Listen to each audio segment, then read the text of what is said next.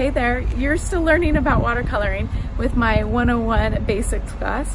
And this, this video specifically is all about wet to wet washes and we'll also show you the wet to dry, which is just the basics in my opinion, of watercoloring.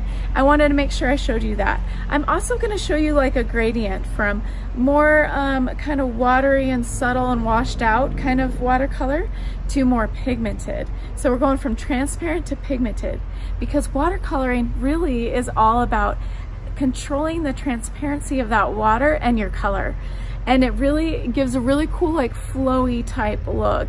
Um, watercoloring is one of my favorites. So let's go ahead and dive in. And once again, you're with cmcstamps.com. Stands for Color Me Crazy. All right, let's get started. Okay, are you ready to learn all about the different kinds of watercolor washes? I just did a little like template here for you guys to see. So this is like gradient. So basically I think that there is a spectrum of watercoloring. Like I said, I think watercoloring is about controlling water and the transparency to your advantage. So you can dilute it or just use it more pigmented. Anytime I do watercoloring, I'm doing it with these inks or I could even use a re-inker and put it on the lid. So you'll see that in some of my other videos, but today we're focusing on how I get this look. So we're actually gonna recreate this. So this top one here, like I said, is the gradient going from darker to lighter, so you can learn how to do that. Um, kind of fading it lighter. This one right here is the wet to dry. So this paper was dry and I brought my wet brush onto it to color it. This one was a wet outline with no color on it, just water. And then I brought my color to it. So this is called wet to wet. These are the basics of watercoloring. Um, I'll tell you the similarities and the differences between the two, and then I'm gonna go ahead and show you the technique. Since this video is a short video and it's mainly about the technique, we're gonna focus on that. Okay, so you see the gradient one, we'll go over how you do that. A lot of that's diluting with water. Then the, let's go over this wet to wet one. It does take longer to dry. You're definitely going to use more water, so I'd suggest filling this up close to the line. So this is enough water for you to do wet to wet.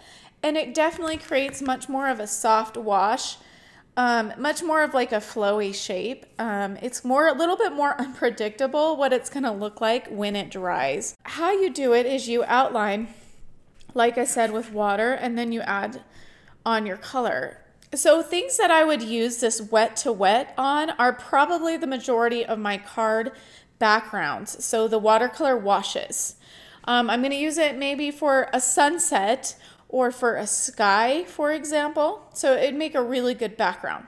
Now, now when am I going to use the wet to dry over here? Well, I tend to use this for a more controlled, precise type of watercoloring. This would be where if you're doing like a painting with watercoloring, you're probably more likely to use this type of watercoloring technique. And I use it for the no line. So the no line technique is definitely amazing, but it is one of the most advanced techniques that I think I know about. So I'm going to teach that to you in my watercolor advanced class. So more to come on that. Going back to wet to dry, this one right here in the pink, you're definitely going to use more color and more pigment and less water and it uh, you just do not wet your paper beforehand. You just add the color straight on. And I tend to find that when I first add the color, I'm going to squeeze a little bit of my water as I'm going. And of course, I'll show you how this is done. And one other thing um, that you may want to know about this is that this wet to wet takes much more time to dry than this one does. So sometimes you, you can decide which technique you're going to use based on time. Let's go ahead and dive in and I'll show you how it's done. You're going to always want to have a paper towel. I just put it in half. You're going to want to have your inks and obviously your, your aqua painters. And you want the very specific watercolor paper. This is Stampin' Up's new kind of watercolor paper, and I absolutely love it. You usually can get two cards in one depending on the size that you cut, and it is such good quality.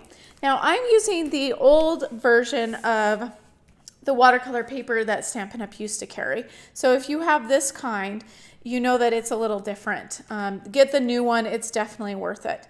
We're gonna start with the gradient. So I'm already got some of my ink there and I'm going to go ahead and wait, wet my paper just where I want this shape to be.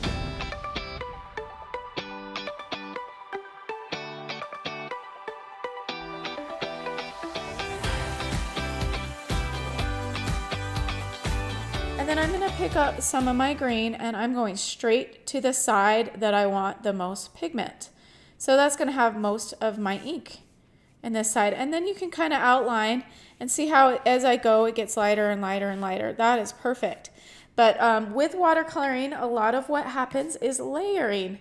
And I layer when it's wet. It does something different when you wait for it to dry and then add more color. It tends to add like kind of a more pulled look like as if you stained a shirt.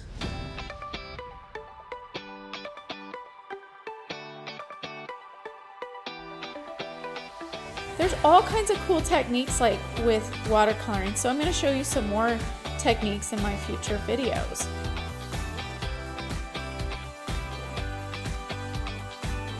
Here's another cool trick. If you add too much color with watercoloring, just dab off with a towel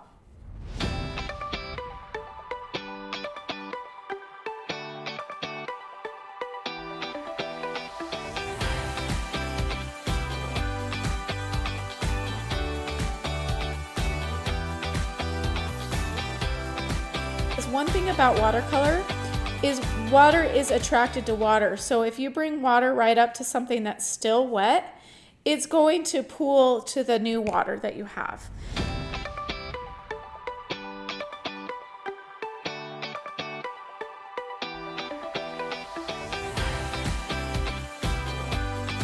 Now let's go to the dry paper and the wet color. So I'm adding, and you can decide how much water you want to squeeze out of your aqua painter onto your palette. So then you just decide kind of what shape you want and you kind of pull it down. Now, as I'm pulling down the color, I in fact am squeezing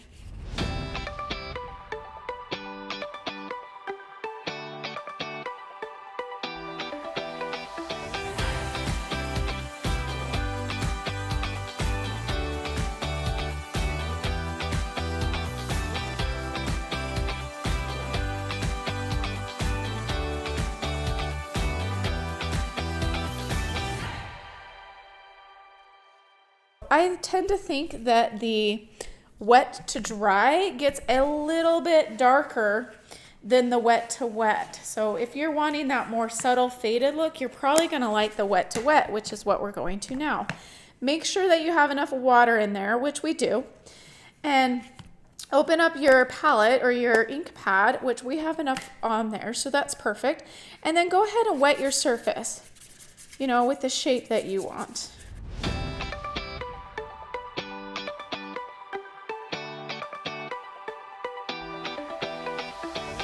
And this does kind of a cool like faded look. I really like how this, this ends up looking. One thing I've noticed with watercoloring too, which I like, is if you leave an area to pool, um, it kind of spreads out. And like I said, this wet to wet dries really unpredictable.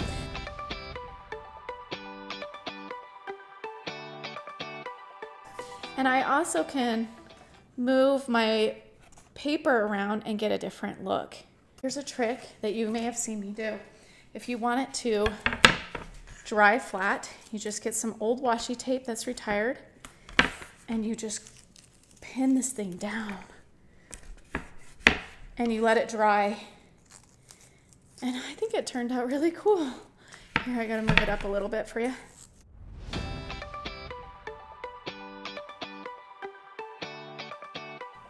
So see how this one kind of pulled and looks cool and like has differences in, in pigments, light to dark. And this one just has more of a smoother look and definitely much more pigmented. And then we've got our cool transition. Okay, now I'm gonna show you some projects. Okay, this is just a basic uh, watercolor wash and I did I did wet it, so it's wet to wet. So I put some clear water on first and then colored over it. I've got three samples here, um, but this was definitely wet to wet and I added kind of a bit, a bit of layering. So it sort of pulled some blue out of the purple and it just gave it a really cool pooled look. And then here it is just more concentrated. So you can see that you could do it lighter or more concentrated. And then there it is in blue. I waited till it dried and I stamped right on top of that. This was a really fun card. You may have seen me do it in another one of my videos where I mirrored the image using the Stamparatus. But I like this because I got it wet before and then I stamped right on it and I got it wet after. So this is definitely a wet to wet look. Now this is the one technique I wanted to show you that is so cool. Um, it is it, it is so cool. So basically you pull on these these um, colors and it's definitely about like layering. Remember how I said that if it kind of dries a little bit and then you add more water, it will give you kind of a pooled look. Um, that's what that does. And then I use my heat tool to just get little dots, little, um, like I'd squeeze out like a dot of color um, and then it would pool whichever direction it, you know, it would be blown. So it's really cool technique. I'm going to do this in my advanced class for watercolor, so you'll see that coming up later. And then another cool thing I'm going to show that I don't have a sample right now, but if I wanted any kind of like splattering, and you can do it a couple ways. You can use your cap and kind of splatter. You can also um, tap it is another way to get some splatter. So You'll see all these cool techniques in the future. Thanks so much for watching this video. I hope you feel like you can do watercolor washes now and you know the difference between the two because it's really important. I hope that you feel confident to dive in and that you know I'm here for you if you need any help at all. I want to be there for you. Okay, visit me anytime at cmcstamps.com and um, it's available 24 7 and please if you like my videos go ahead and subscribe below and hit the bell if you want to see more videos. Thanks bye